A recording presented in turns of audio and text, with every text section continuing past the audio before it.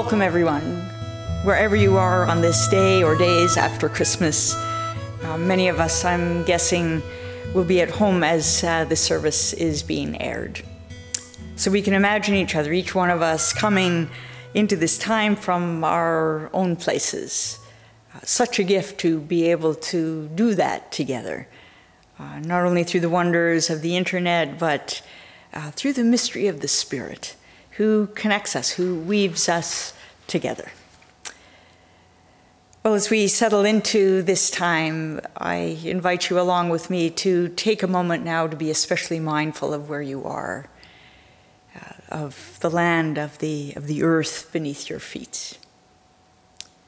For thousands of years, Coast Salish Lekwungen speaking peoples have been sustained in body and mind and spirit through their relationship with this land source of life, source of connection, uh, home to First Peoples long before and ever since we have come to be where we are.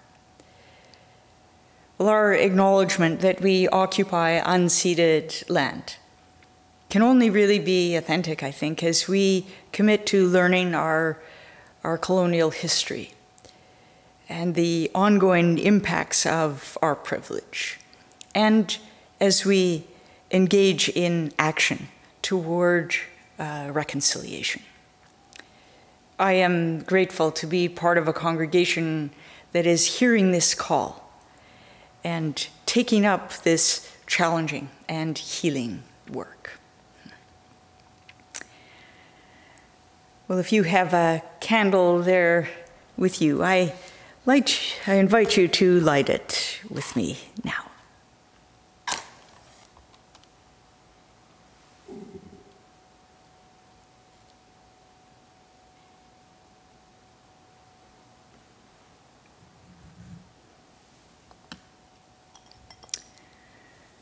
Grace to you and peace in the name of Jesus, born among us that we might begin to fathom the mystery of God with us in our flesh, in our life, in, in every other life.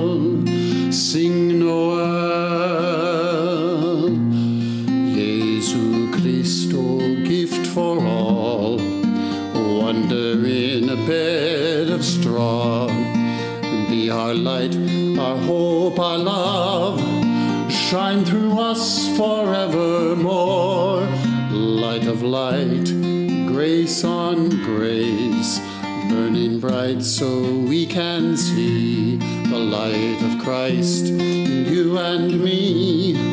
Light the path and show the way, sing a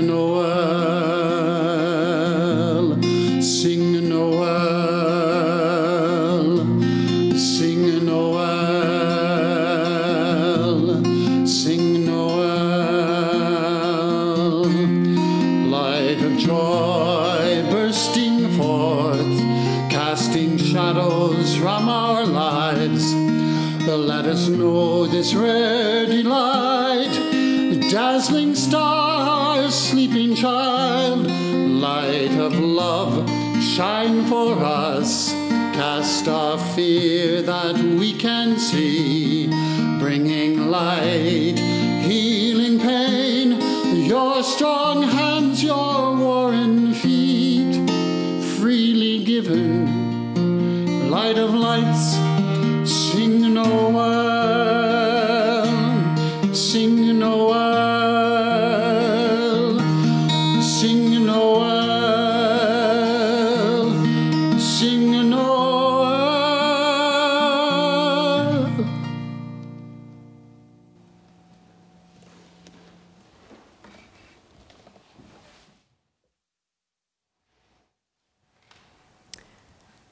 you join me in prayer?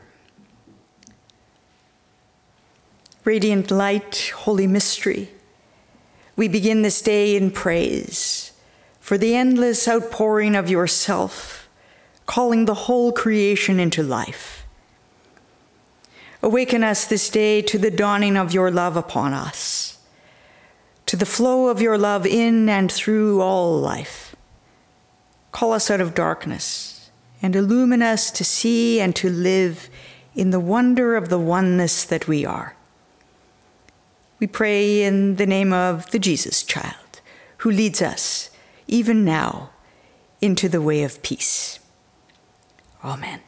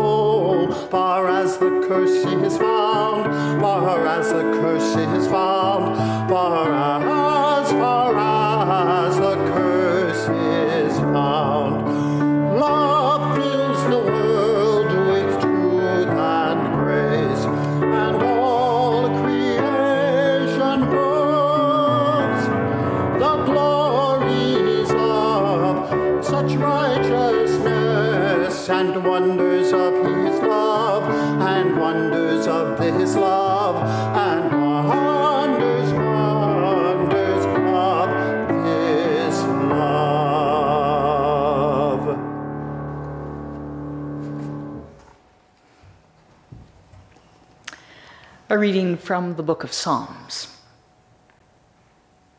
Give praise to our God and sing a new song. Amid all the saints, God's praises prolong, a song to your Maker and ruler now raise. All children of Zion rejoice and give praise. With timbrel and harp and joyful acclaim, with gladness and mirth, we praise your great name. For now in your people, your pleasure you seek, with robes of salvation adorning the meek. In glory exult, you saints of the word, with songs in the night, high praises accord. Go forth in God's service, be strong in God's might, to vanquish all evil and stand for the right. For this is God's word, the saints shall not fail. But over the earth the humble prevail. All rulers and nations shall yield to their sway. To God give the glory and sing praises. God's word is life. Thanks be to God.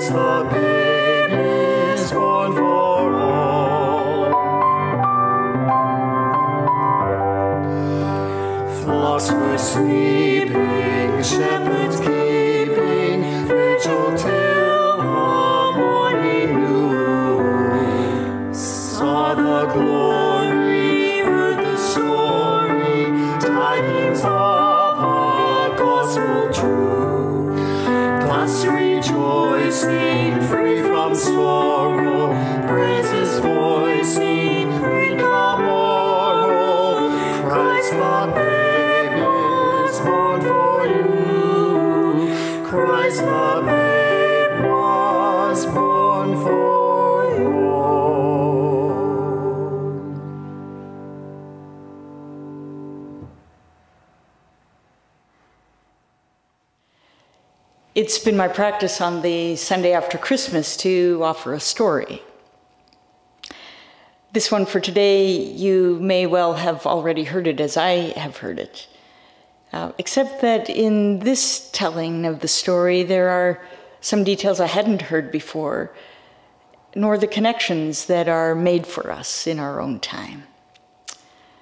And so, with thanks to Matthew Myer Boulton, I invite you to listen to this. The nights were anything but silent. World War I air warfare, machine guns. On December 1914, Pope Benedict XIV proposed a Christmas truce, but the political and military leaders opposed. The soldiers in the trenches had other ideas. On Christmas Eve 1914, though the generals and the officers on both sides were insisting that hostilities continue, the young enlisted men in the trenches took matters into their own hands, risking insubordination, and in some cases, risking their lives. The Germans made the first move, it is said, singing Silent Night. And then the English responded in kind, singing The First Noel.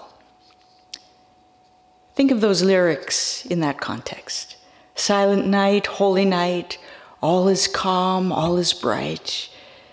The artillery, machine guns, all the technologies of death had all gone quiet. All was calm.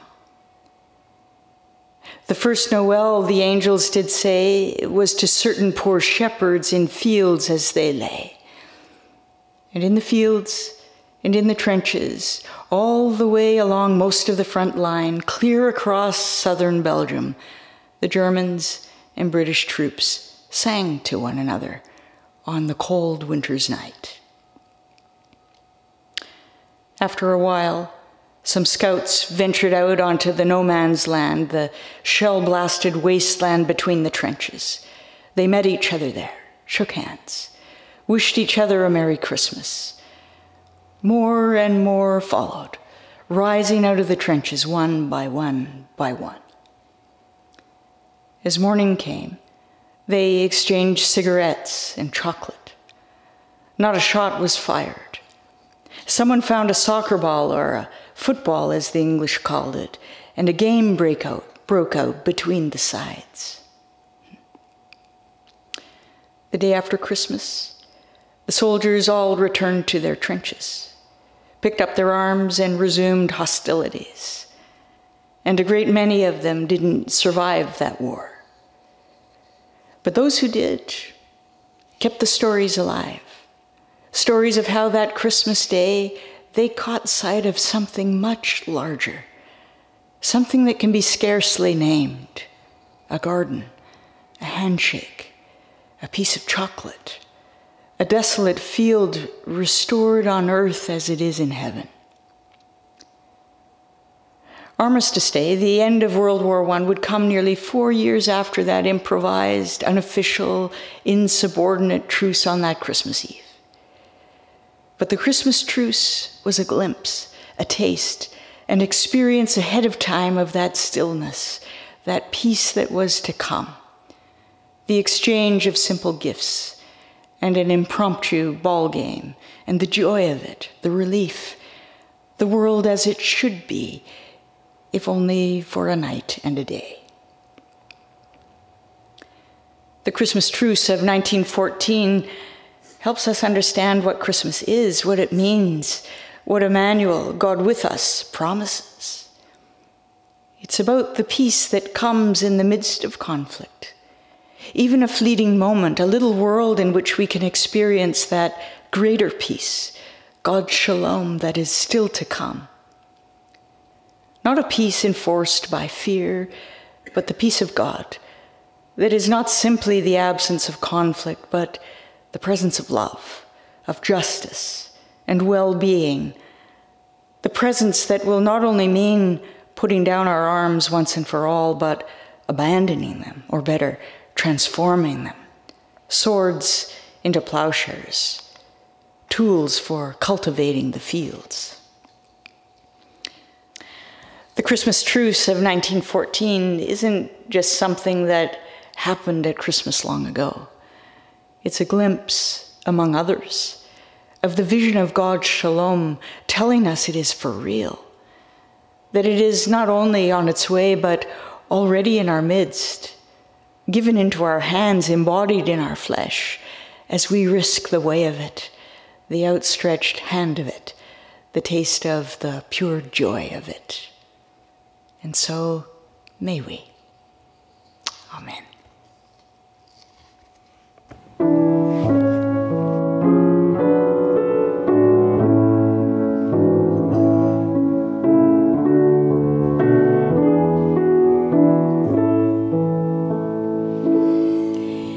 it came.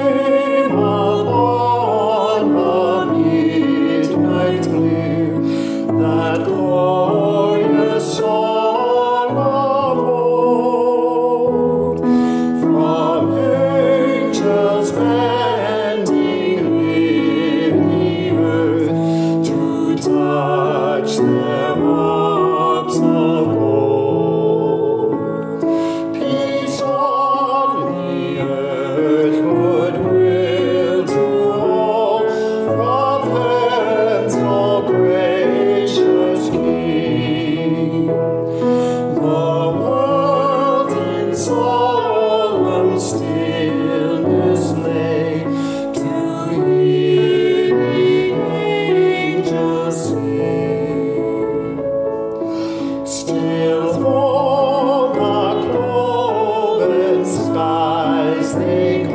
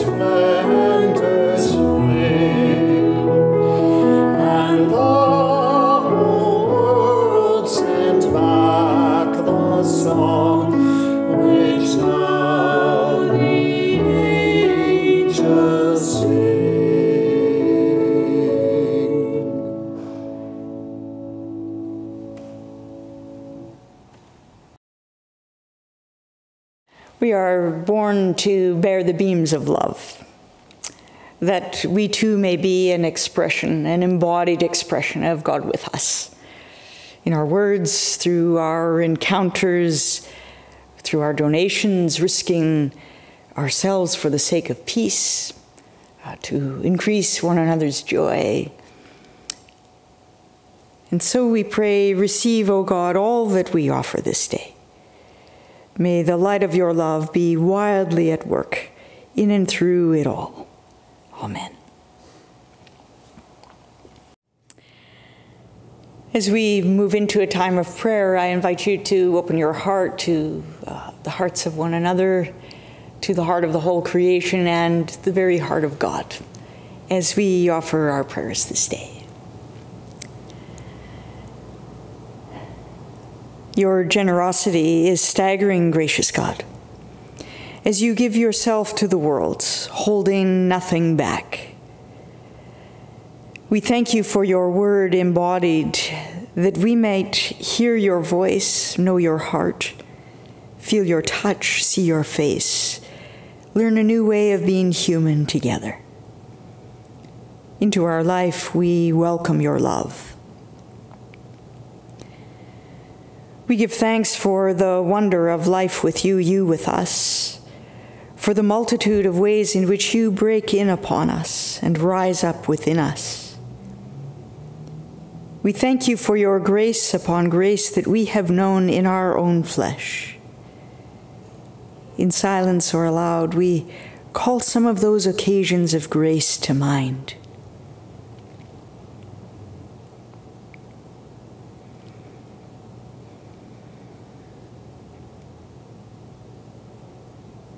Into our life, we welcome your love. The wonder is that your Spirit moves over the chaos of our lives so that light slivers the darkness. Old fears and hurts lose their grip. Mercy keeps turning us loose to transform anguish into wisdom, pain into solidarity, failure into freedom. Into our life, we welcome your love. The wonder is that there are those among us compassionate enough to draw near to suffering, fierce enough to stand against indifference, bold enough to venture peaceably where hostility is the order of the day. The wonder is that there are those among us compelling enough for us to join them, receptive enough in the face of generosity generous enough in the face of deep need. Into our life, we welcome your love. O oh, hope of all the world, we hold in the light of your love those people and places brought to our minds just now, in need of the grace filled workings of your Spirit.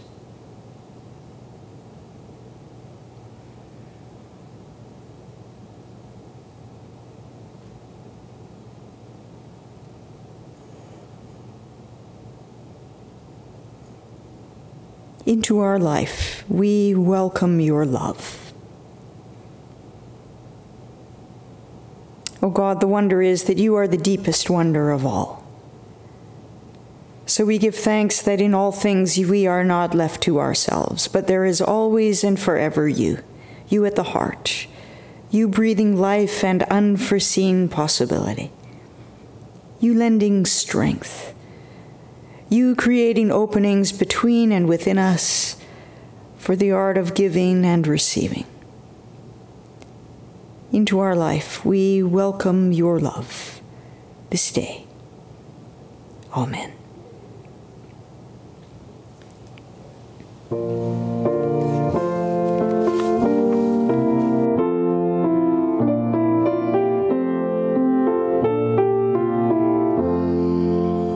Once in royal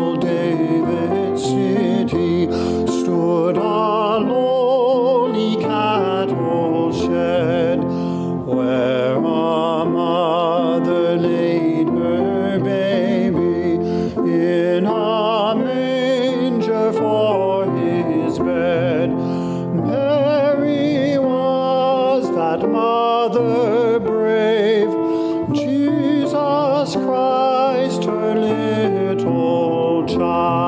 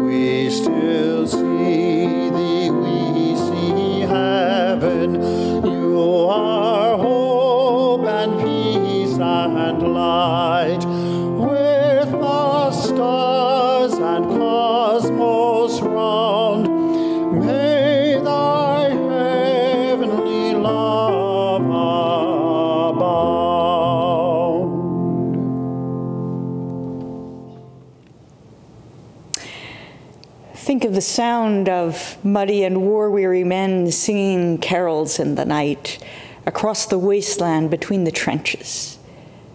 That's what a Christmas carol is, what it can be, no matter where it's sung or who sings it. A hopeful, daring act of peacemaking, of reaching out through the dark, through the orders of the commanding officers to keep fighting. Every Christmas carol, an olive branch, offered with the courage to see that scorched stretch of God's forsaken earth not as a battlefield, but a ball field, if only for a time. Not as a place of division, but as a place of reconciliation, a promised land. So may we go out singing, singing our way through this season, our eyes adjusted, to see that the vision of God's shalom is for real trusting that as it has come in part, there is yet more to come. And so may we go in peace. Amen.